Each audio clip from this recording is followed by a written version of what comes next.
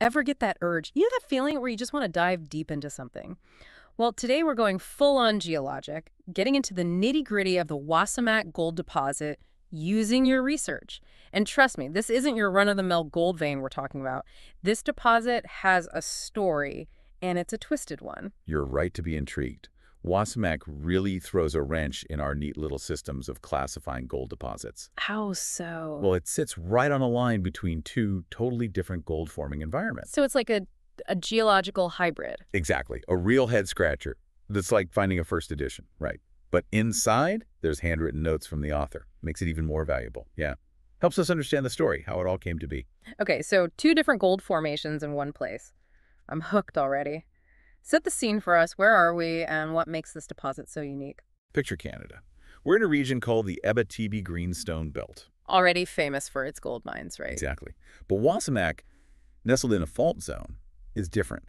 It doesn't just have one type of gold formation, but two distinct types. That's what makes it so special. Two types of gold formations. All right, you got to break this down for us. What are the telltale signs that make these two types so distinct? How can you tell them apart? It's all about reading the rocks like a detective, looking for clues. Love it. One type we find this in what we call the potassic alteration zone is characterized by the presence of specific minerals, particularly microcline and quartz. Think of it like baking a cake, Right, you have the right ingredients. Exactly. Microcline and quartz, those are our key ingredients in this gold formation process. So it's not just about finding a gold nugget, it's about understanding the recipe that created that nugget in the first place. Exactly. And in this particular recipe, we often find the gold hidden within pyrite, you know, pyrite. Fool's gold, That's the one. It's a common iron sulfide mineral, and it's often hanging out with telluride minerals. a dynamic duo. Right. So imagine you find these tiny treasure chests. That's the pyrite, but they're locked inside bigger, less valuable chests.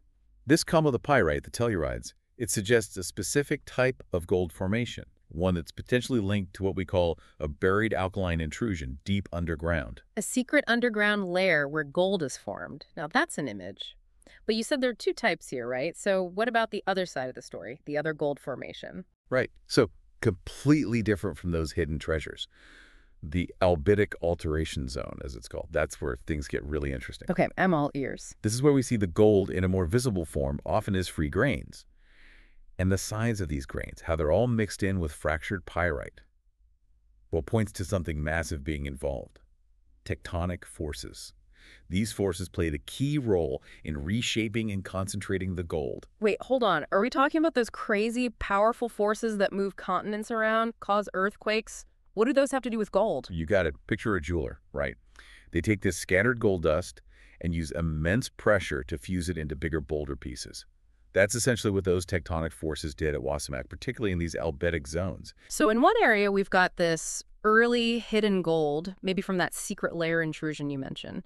And in another area, we see evidence of later stage gold that's been completely remodeled and concentrated by these tectonic forces.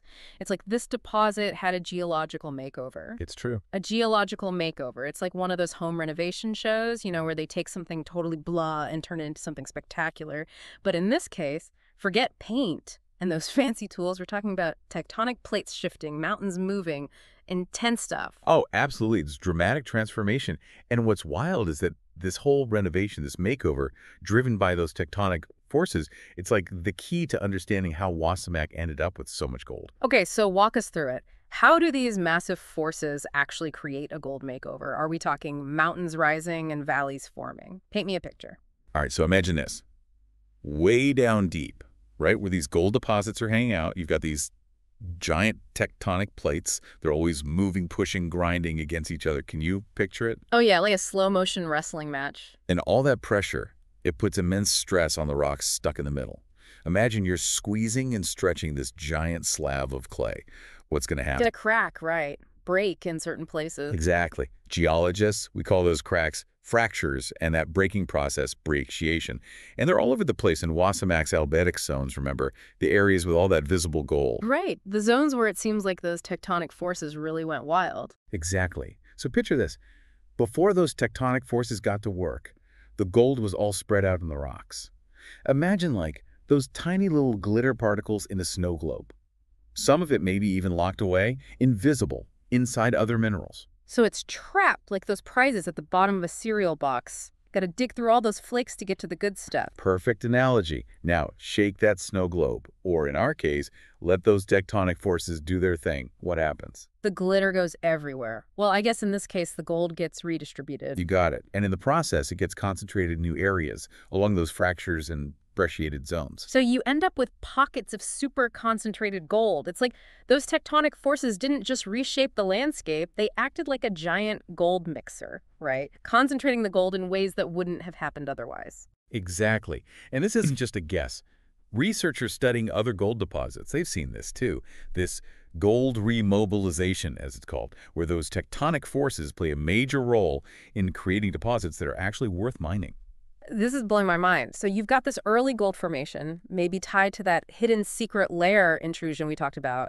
And then those tectonic forces come in, like hold my beer and give it this dramatic makeover. It's like a two-act play, with each act adding to this incredible final masterpiece. But you hinted at something even cooler earlier. You said Wasamac might be a geological hybrid. Don't leave me hanging. What did you mean by that?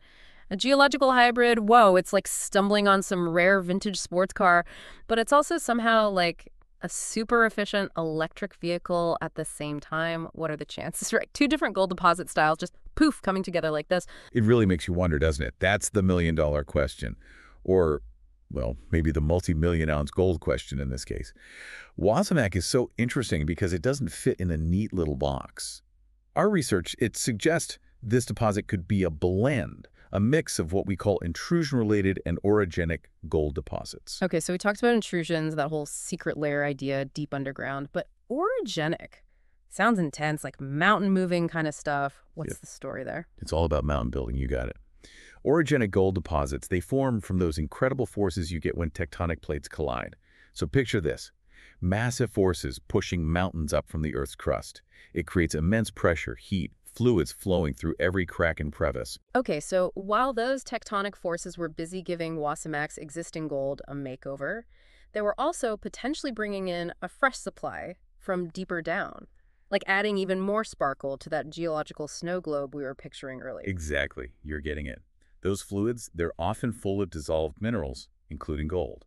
And as they move through the Earth's crust, they can deposit that precious cargo in just the right conditions. And here's the kicker with Wasamac.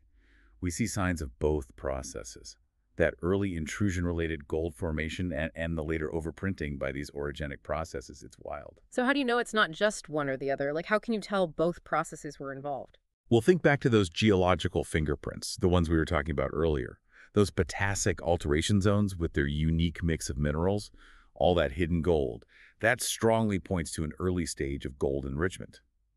And it's very similar to what we see in the Kirkland Lake Gold District. You know that one. Oh yeah, definitely famous for its gold. Exactly. So we've got our secret layer checked off the list, right? Mm-hmm. Then those orogenic forces came along and added their own little twist to the story. A plot twist. I love it. all the evidence points to this later phase where those tectonic forces and the fluids they were pushing around basically overprinted that initial intrusion-related gold. Like they layered one geological process right on top of another. It created this hybrid deposit, a mm-hmm. deposit with a way more complex and honestly way more interesting history than you'd expect just looking at it. It's incredible how much is hidden beneath the surface, isn't it? I mean, this is what makes geology so fascinating. It's not just about the rocks we can see. It's like this whole other world, hidden deep down, full of these incredible forces and processes shaping everything. And Wasamac, with its dual nature, it gives us this amazing glimpse into that world. It makes you realize just how powerful these geological forces are, how they've shaped and reshaped our planet over millions of years. And honestly, it makes you wonder what other geological hybrids are out there, just waiting to be discovered. What other mysteries are hidden in the earth, just waiting for us to uncover them. That's the beauty of it. There's always more to find, always something new to learn. And for you listening, remember the story of Wasamac. Reminds us that even when we're talking about rocks and minerals, things aren't always what they seem. Keep asking questions, keep exploring. Who knows what you might dig up?